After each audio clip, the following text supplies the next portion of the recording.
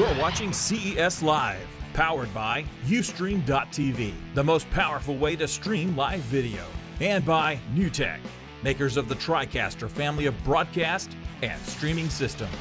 And now, CES Live.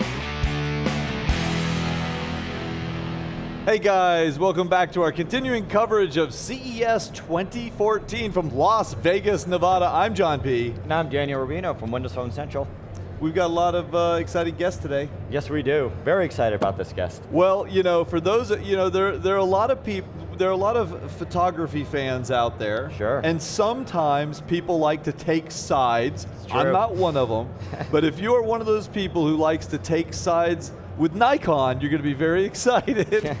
we've already got people. got a few fans here. We're very Yeah. excited because we've got Zurab here with new Nikon cameras. That's right. Uh, First of all, thank you, John, for having me here. We're indeed very excited to be here at CES 2014, and we've been participating every year since it's been absorbed, uh, since PMA has been absorbed by CES, and we've been using it as a platform to announce many new exciting products. This year is no exception at all, and we have a whole lot of new products. Too many to even cover Yeah, in this always. interview. Always Yeah, a good problem yeah. to have. But you brought a couple with you. Yeah, I brought a couple just not to overload you Yeah. with all them. Let me But- just let me just make the comment that uh, I, I love Nikon, I love Canon. We there's different pieces of each brand that I love. There's one particular Nikon that I have just an absolute love affair with. It's actually the P well now the 7800, Yep. the, the P7000 and up, but now the P7800. I love love love that little pocket-sized camera. I think if I could only own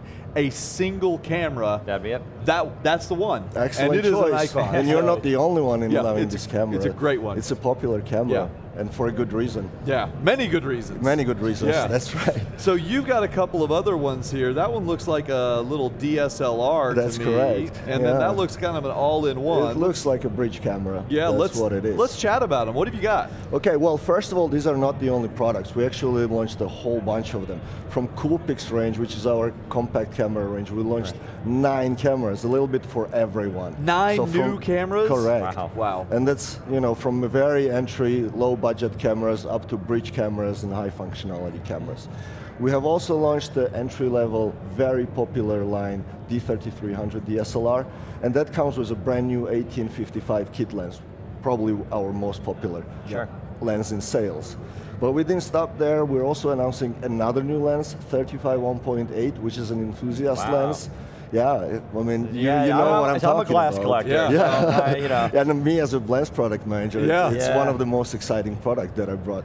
And apart from that, we're also making a development announcement of our flagship D4S camera. Oh. so there's The a little guy. bit for Right, everyone. right. Yeah. Well, we I know we don't have a D4S here. No, unfortunately not yet. But what can what can you tell us about what's coming in the D4S for those who the D? T, let's explain the D4. That body is the big pro. Correct, yeah. I mean, like this is the one that It'll pros take out and shoot. right. yeah, correct. And yeah. that, that's pretty much where it goes. Yeah. Wars It and does. sports arenas. Sports, yeah, yeah. that's it playground Battles. of the camera. Yeah. So what kind of stuff is is coming new on that There one? is going to be many improvements in D4S, but as we're developing the cameras, we don't want to disclose too much information un- You until we're sure. sure that everything works as we want it to work. So, Fair But there are two things I can tell you. Okay. There will be an improvement in image processing engine. Okay. That means that everyone can expect much better image quality. And I think knowing what the image quality D4 provides already, Already, it will sure. just blow your mind. Okay. That's one thing. Another thing that we will see is improvement in autofocus system. Okay. It's going to be really exciting. Okay. You will just wait and see. But All right. as autofocus is very important for our sports photographers, Sure, which it's is got to be fast. Yeah. Right, right. and not only fast. There are many other things. Sure, Oh yeah. Oh Yeah, yeah. yeah. Yeah. Okay, cool. Excellent. So let's talk about the ones we do have here right in yeah. front of us. Uh, I mean, as I said, we have um, nine Coolpix cameras, so I'm not going to discriminate. I just grabbed the first one Mm-hmm. Yeah, that was okay. at hand. Um, I mean, uh, various improvements in specs. Obviously, there's improvements in specs, there's improvements in lenses, in zoom ratio, etc., etc. But not to overload you with the information, everybody can find it in Uh-huh. the websites. I will just tell you some key features that are really new to Coolpix range. Um, one of the things that we've done is we have uh, improved digital zoom. As you know, digital zoom was not Sure. really considered to be a serious feature. It was kind of like cutting corners. Yep. Not anymore. We now have something called digital fine zoom.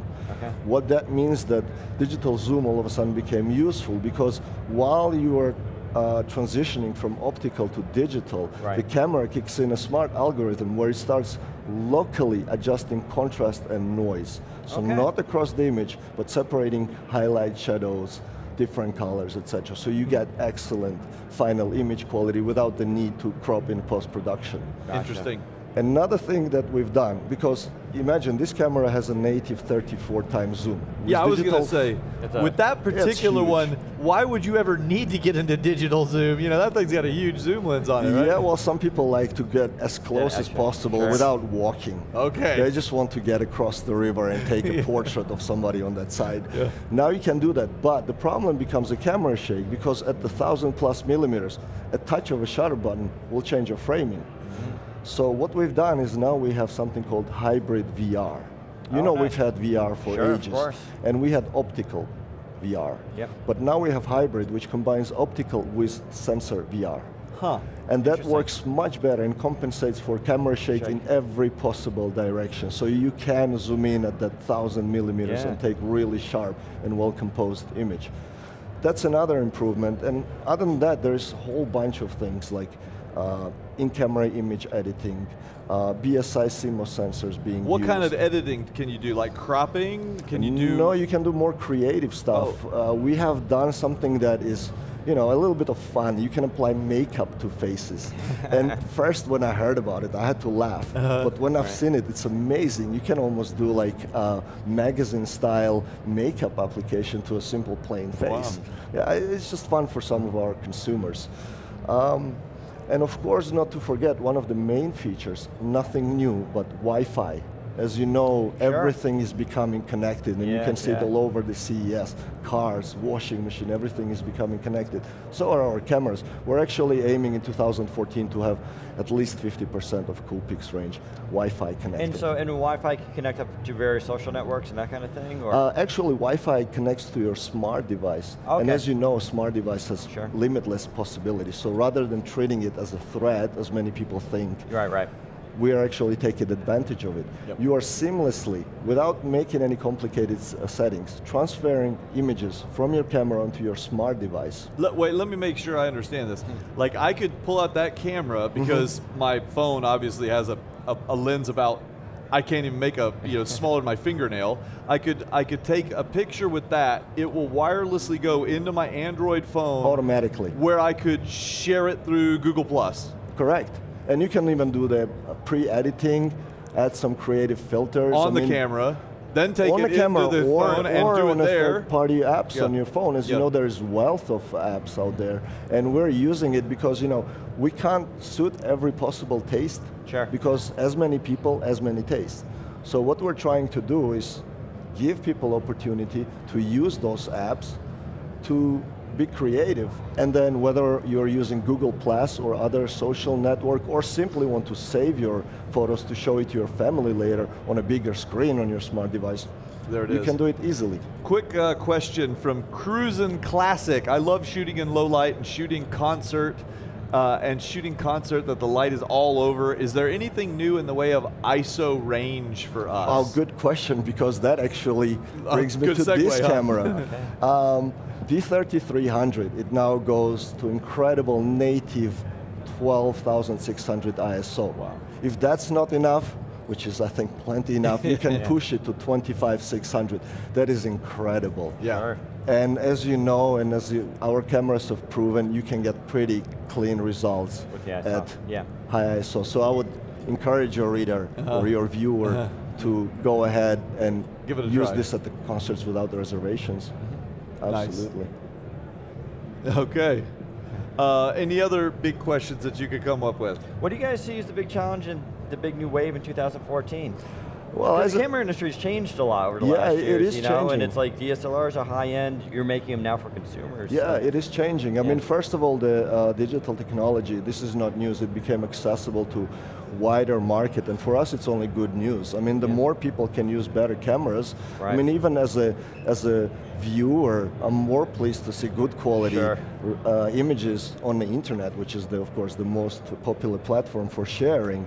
And you know, for, for us, the challenge is to constantly improve these cameras, and we're doing that. Apart from that, of course, there's new technologies. There's Wi-Fi, Right. nothing new, but believe it or not, we already had Wi-Fi camera a few years ago, Right. but we were too early. Yeah. Yeah, The right, market right. wasn't even ready for that. Now they are. Everything also is Wi-Fi. the connected. way in which Wi-Fi is implemented, you know, has Sure, changed changed, over yeah. time. Correct. to- over time too. Yeah. You- because you could you implement it one way and you think, oh, this will be useful for people, and, and a few people use Mm-hmm. Yeah. it, but Yeah. then they come back to you and they're like, well, what we really want to be able to do it this way or that way. Correct. Yeah. And we constantly take that feedback. You know, we have platform to communicate with our users. We constantly have focus groups where we ask them questions how they use cameras, or we observe them, and then we take that feedback and go to R&D and tell them this is really critical to our users. Let's work on it.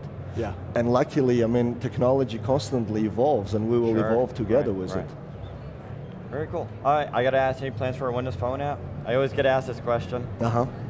For, for sync with the phone, maybe. Yeah, everybody, everybody supports uh, Android Android and and iOS, iOS. but how about Windows phones? Any any apps coming for? At the moment, we don't with it. have them, but uh, I mean, Windows as an uh, as a phone operating system, as you know, is fairly new, Sure. and we need to serve as wider audience as possible. Sure. So as we're seeing that the Windows is progressing, and absolutely it's becoming more and more Right. popular, Right. I think we will be getting there as well. Okay. I mean, at the moment, iOS and Android are covered with our apps. Right, right. Windows is next. Right, Cool. right. Cool. All right. Yes. Well, thanks so much for coming to Thank you join very us. much. Thank Hope you. you. guys enjoy the updates uh, from the Nikon front, and we will be bringing you a lot more updates. So stay tuned. We got more continuing coverage here at CES 2014. Be right back.